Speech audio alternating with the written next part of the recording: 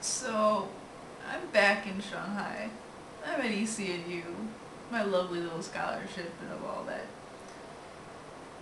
And I want to know why even like a postgraduate student with a full scholarship and all this honor stuff gets cardboard for a Like what is this? Look at this.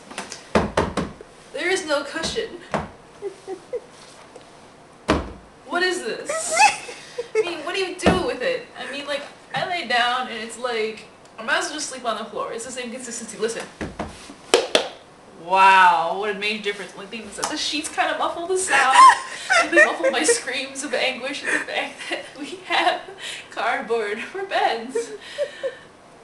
I, I, why? Weishima. Weishima.